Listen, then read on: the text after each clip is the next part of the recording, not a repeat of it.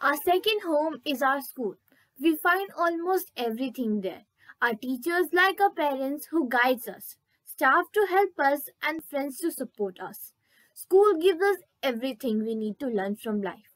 So we should celebrate the day when it was actually came into existence. 2nd February 2009, our school was established by Patna Notre Dame Sister Society. I want to congratulate Sister Mary Vidya, a beloved principal whose hard work had made us reach these heights of success.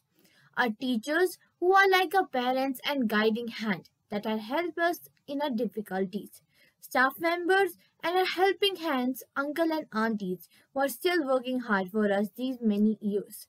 The aim of our school has always been to educate young and aspiring students to make change in society and hence we are continuing doing that.